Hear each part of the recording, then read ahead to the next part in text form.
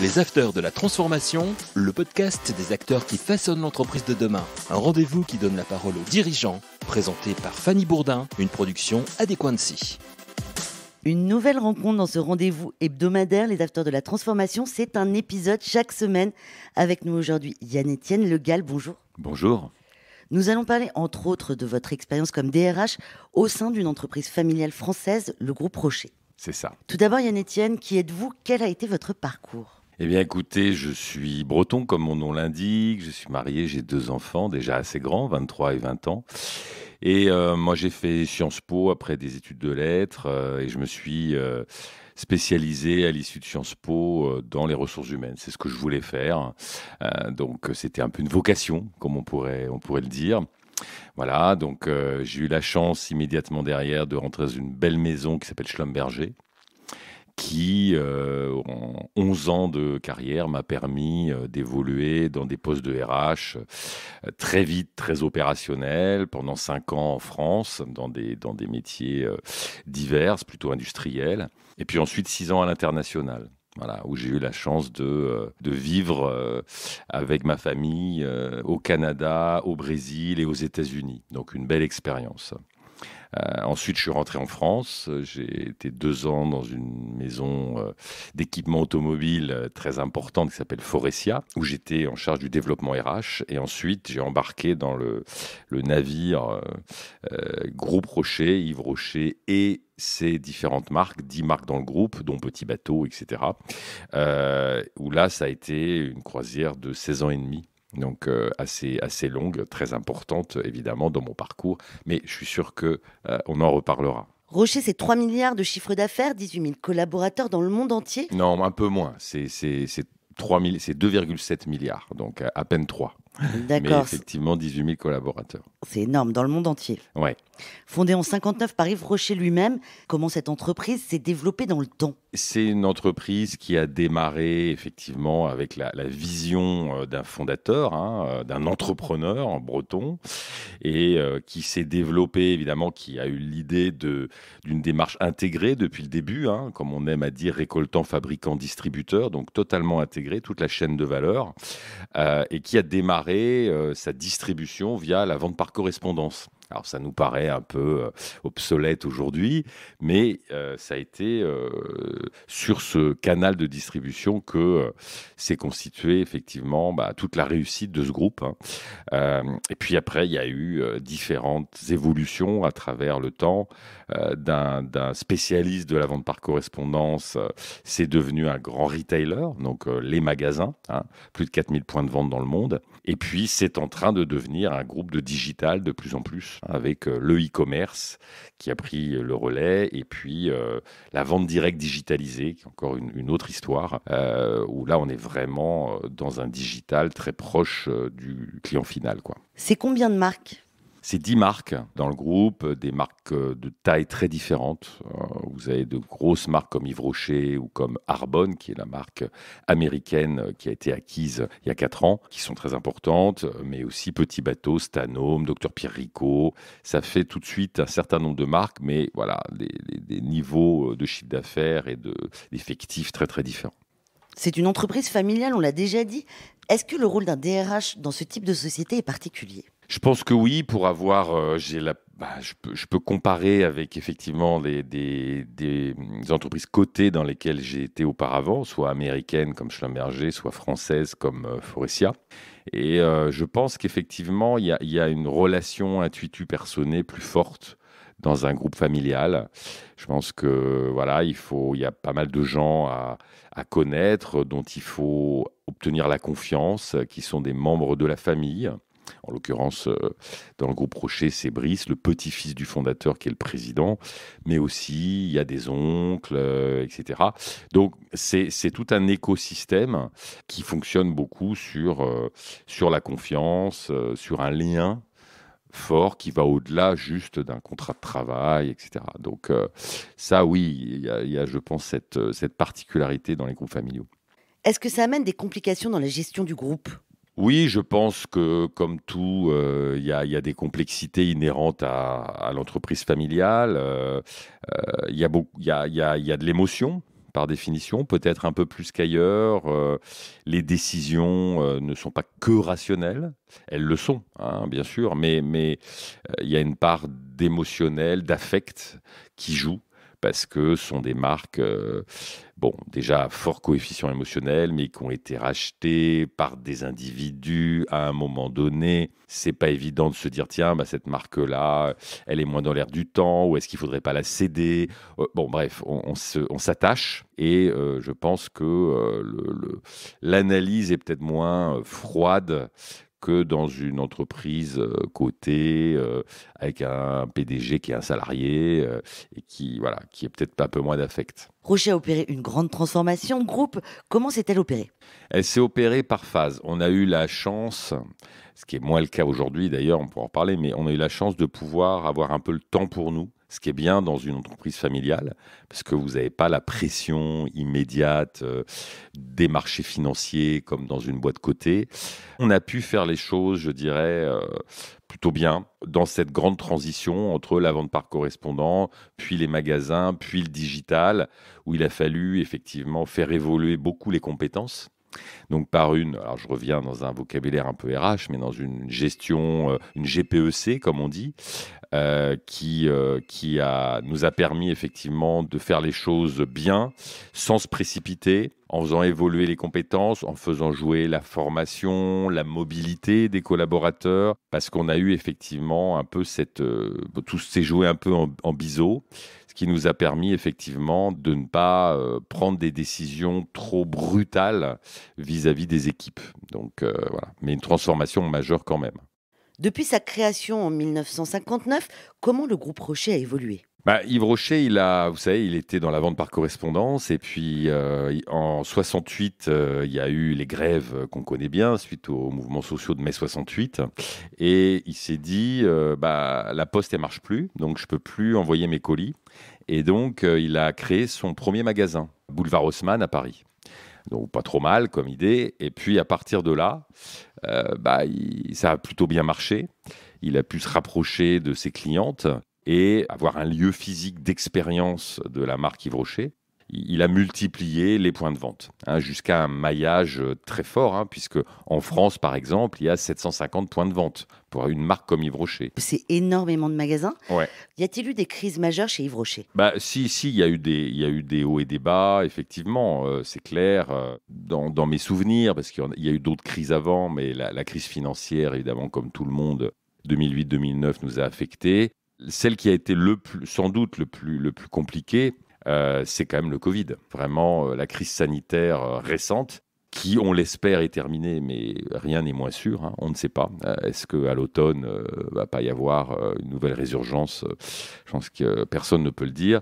Mais cette crise-là, elle nous a beaucoup affectés. Et là, euh, parce qu'on a eu des magasins fermés, euh, trois mois et demi euh, en 2020, à peu près l'équivalent finalement quand on compte toutes ces périodes de shutdown, de couvre-feu, de réouverture partielle, etc. Pareil en 2021, ce qui a énormément affecté euh, bah, le, PNL du groupe, etc. Et, c'est vrai qu'on a, on a un peu de mal à, se remettre de cette crise. Euh, vous n'avez pas utilisé le PGE de l'État? Non, il n'y a pas eu de PGE. Non, on a c'est un choix. Euh, oui, parce que c'était pas, on l'a pas jugé nécessaire. On a protégé la trésorerie un maximum en repoussant des paiements, des choses comme ça. Et puis on a utilisé bien sûr, par contre, le chômage partiel.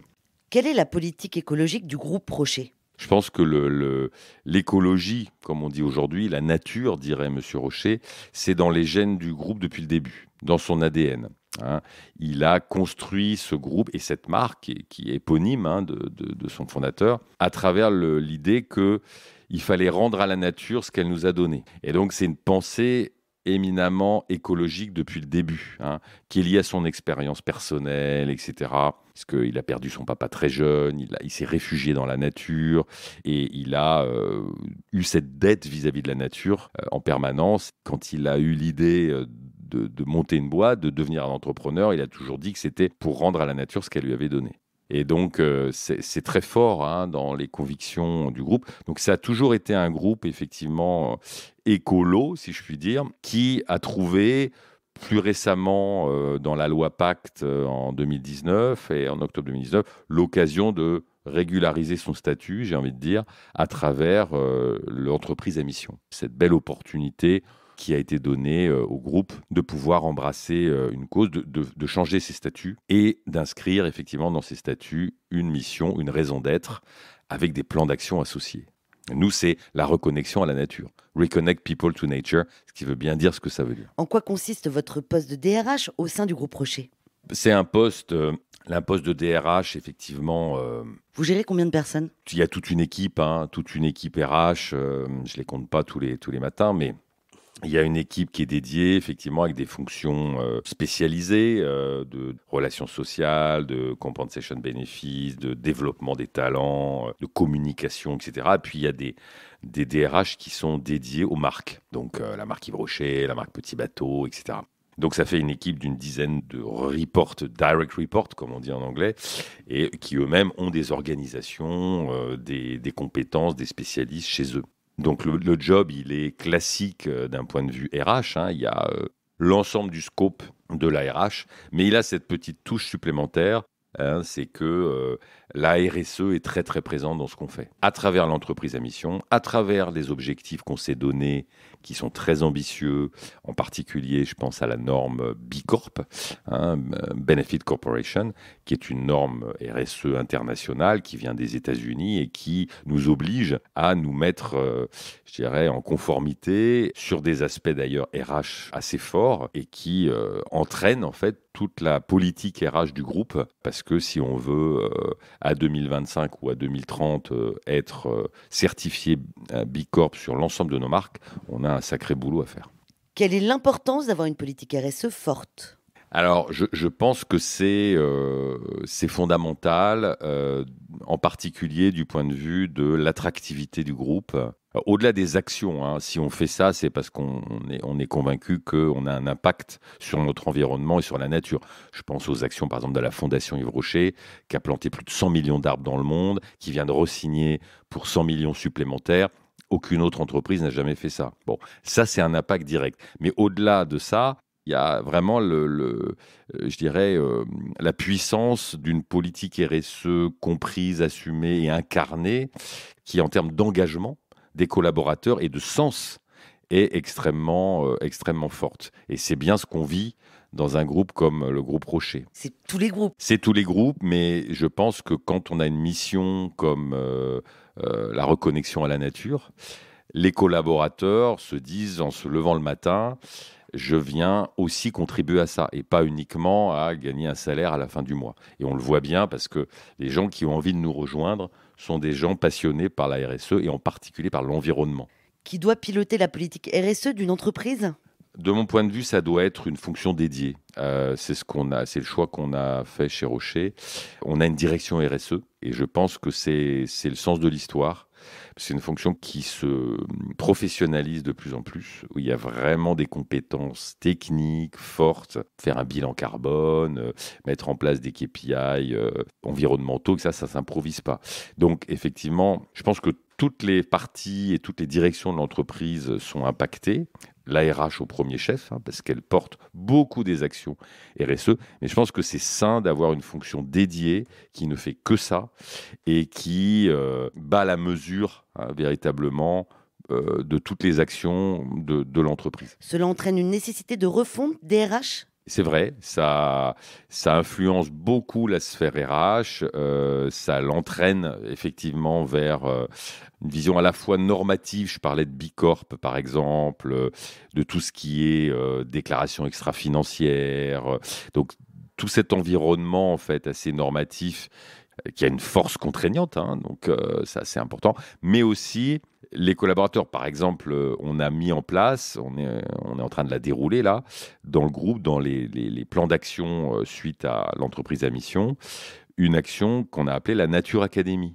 Il s'agit de euh, former nos 16 000 et quelques collaborateurs alors sur une période de 5 à 8 ans hein, aux fondamentaux de la RSE, avec en plus une expérience immersive dans la nature qui est une marche de la reconnexion qui dure euh, deux heures, hein, où les gens vont pouvoir effectivement euh, comprendre ce qui s'est passé depuis le Big Bang jusqu'à aujourd'hui dans un lieu de nature, une forêt, un parc, un jardin, etc.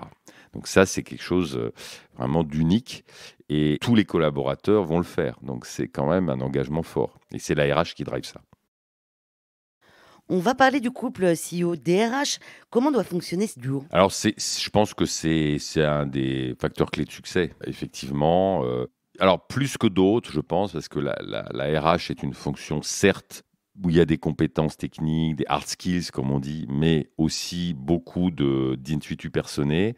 Il faut que le PDG et le DRH fonctionnent vraiment euh, en extrême proximité. C'est-à-dire que euh, la fameuse expression euh, un papier de cigarette entre, entre nous. Je crois que c'est le cas, c'est-à-dire qu'il y a la confiance, il y a le respect et il y a la réactivité. C'est-à-dire qu'il euh, faut pouvoir se parler très vite, un peu à n'importe quel moment et à n'importe quelle heure, il hein, faut quand même le dire, mais pour que derrière, euh, les actions puissent être mises en place, etc. Et il y a un côté en plus, je pense, humain, confidence, parce que si le PDG parle pas à son DRH, y compris de ses doutes, de ses hésitations, à qui va-t-il en parler? Rarement au directeur financier, il faut quand même le dire. Euh, rarement à ses grands patrons opérationnels.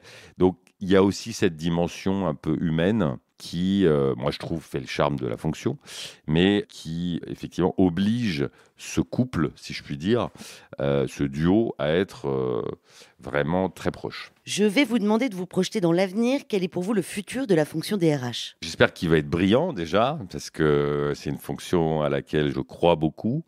Je pense que c'est une des fonctions les plus, les plus intéressantes de l'entreprise. Je pense qu'elle elle va évoluer de plus en plus vers cette notion de... Alors, un peu un acronyme en, anglais encore une fois, mais de Chief Culture Officer, c'est-à-dire de garant et de porteur de la culture du groupe, d'un groupe, d'une marque, d'une voilà. Toute marque, toute entreprise a une culture propre. C'est ce qui va faire sa force. C'est ce qui va faire sa capacité d'attraction vis-à-vis de l'extérieur, que ce soit des institutionnels, des candidats, euh, etc. Et, c'est ce qui va provoquer, je pense, l'engagement des collaborateurs, le sens. Donc, qu'on soit entreprise à mission ou autre chose, peu importe, ce n'est pas, une, pas une nécessité. Mais si vous portez quelque chose, un message, une action, un impact sur le monde, bah, il faut pouvoir l'exprimer et il faut que ça drive votre culture, c'est-à-dire des comportements, euh, des attitudes, etc. Et c'est le DRH là qui est le fer de lance de ces actions-là, pour s'assurer effectivement qu'on est bien dans la ligne de ce qu'on a défini en termes de culture, comment on peut aussi éventuellement la, faire évoluer. Et donc ça, ça va vers la transformation. Et je pense que c'est là où le DRH peut le mieux s'exprimer et avoir un impact. Va-t-il y avoir une émergence de nouveaux métiers? La DRH, c'est un peu protéiforme, hein. donc c'est un avantage et un inconvénient. C'est-à-dire qu'il y a des métiers classiques, on en a parlé, hein, de, relations sociales, de recrutement, de développement des talents, de formation, euh, de rémunération, avantages sociaux, etc. C'était un peu le cœur, euh, cœur du business, si je puis dire. Hein. Et de plus en plus, on demande au RH d'être compétent sur la communication, sur les organisations, le design organisationnel, sur la RSE, sur les notions de gouvernance. Donc le scope, il s'est beaucoup, beaucoup élargi. Alors il faut faire attention parce que euh, on peut s'y perdre un peu. Hein. On ne peut pas être compétent dans tout. Donc euh, faut, faut se méfier un peu de cet écueil-là, qui peut du coup entraîner le DRH vers euh, un petit peu un reproche de doux euh, généraliste, on va dire. Mais en même temps, c'est difficile, je pense, de se de ramener trop vers le cœur de métier. Je pense que c'est une chance d'avoir cette opportunité de s'étendre et, et donc de développer de nouvelles compétences, de nouveaux métiers. Mais attention à ne pas s'y perdre. Merci beaucoup Yann-Étienne Legal d'avoir partagé votre expérience avec les auditeurs des Afters de la Transformation. Merci beaucoup à vous un nouvel épisode chaque jeudi à 18h que vous pouvez retrouver ensuite sur toutes les plateformes d'écoute. À la semaine prochaine. Les Afters de la Transformation, une émission à écouter et à télécharger sur adequancy.com et toutes les plateformes de podcast.